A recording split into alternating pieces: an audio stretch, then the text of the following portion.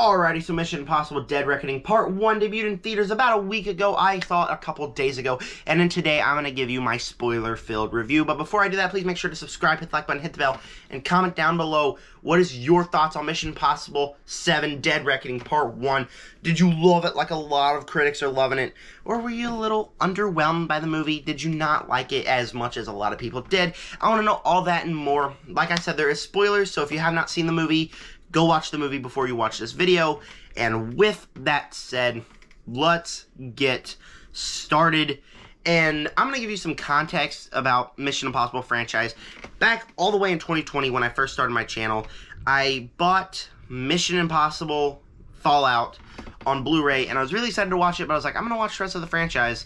And that didn't happen because all I did was watch number one, and I really did not like one. And then I watched number six, and I did not like six.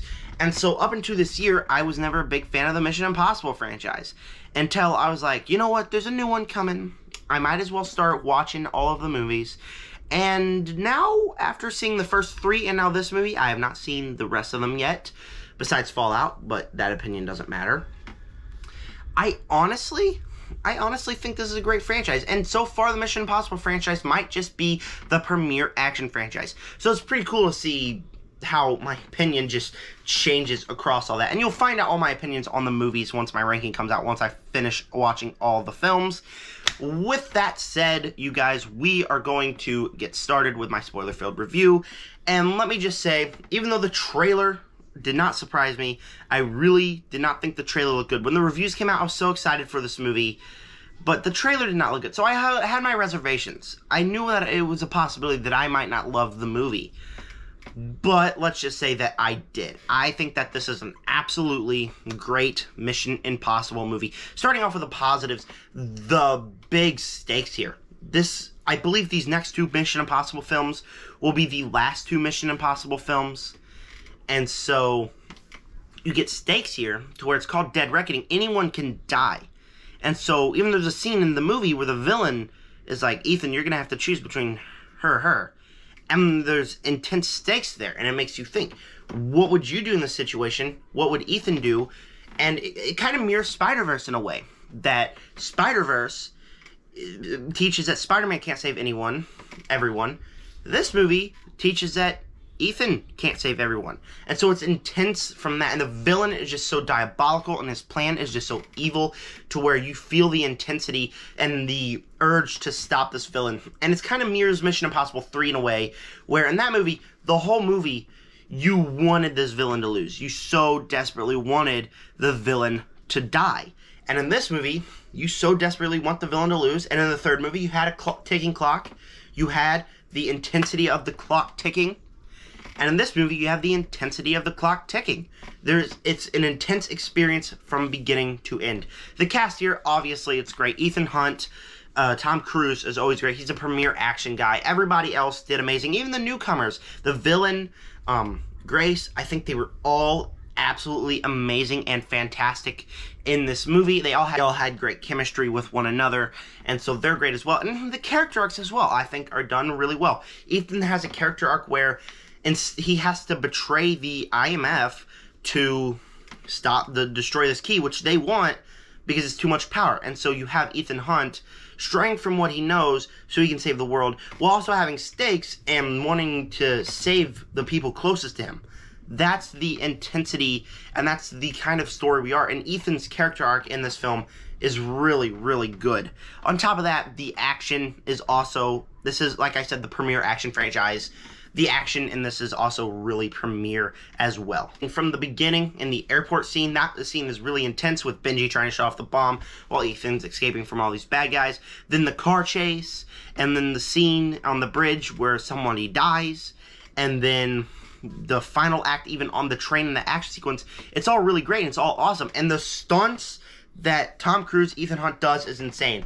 The moment he pulls up on that motorcycle, looks down the cliff, I held my breath. I was like, oh my gosh. And when he flies off the cliff, that is an insane stunt, and I'm so glad I got to see this in the theater because this is my first Mission Impossible movie in a theater, and I'm so glad I got to see it because that was awesome and the stunt was really cool and the action and the choreography was really great. It's not as premiere as a John Wick or Extraction kind of choreography is, but this choreography was really good and really fun to watch and the action and stunts and even like the train with the train falling was that was absolutely great. Me and the girl i went with were holding our breath the whole time.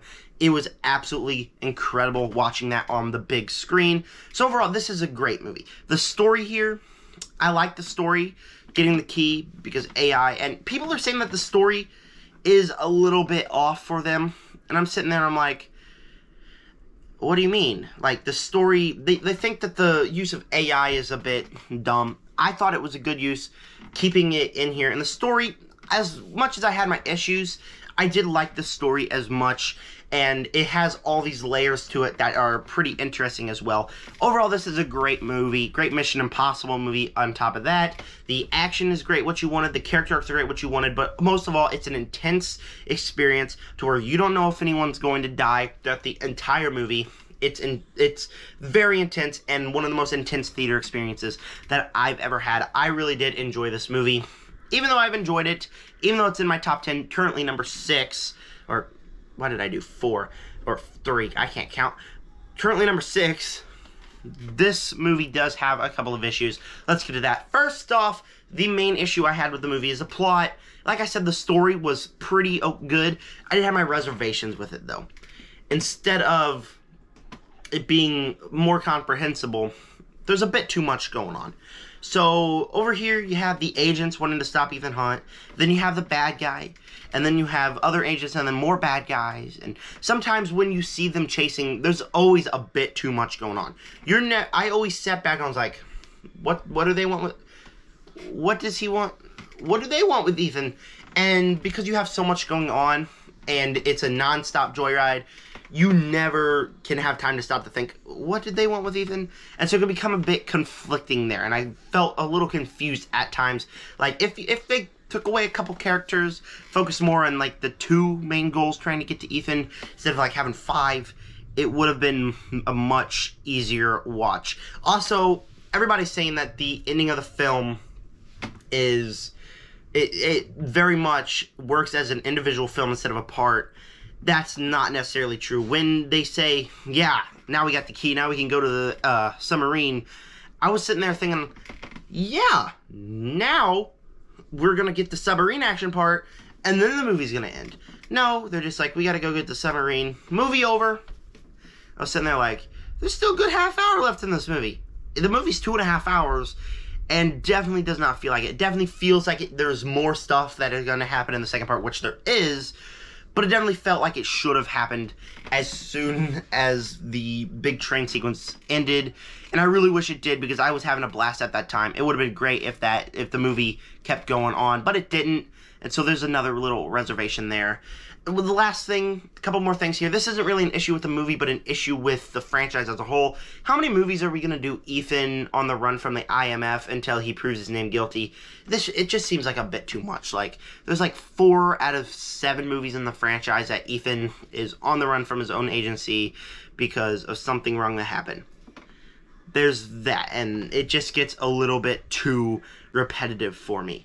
Overall, though, like I said, it's a great movie. It has so many good things, and it's just intense from beginning to end.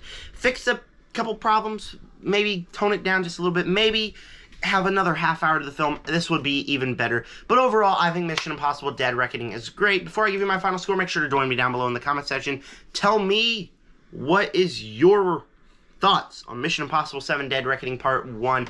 I want to know, did you love it or did you hate it? I want to know all that and more.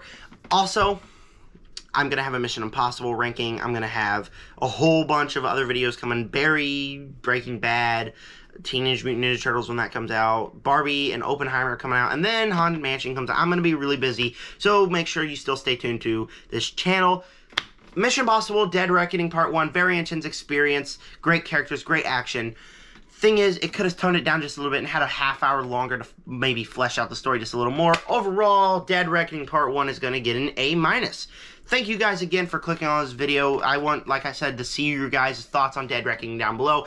And stay tuned for all of those videos coming up. Thank you so much for clicking on this video. And with that said, subscribe, join the Nerd Army. Peace out.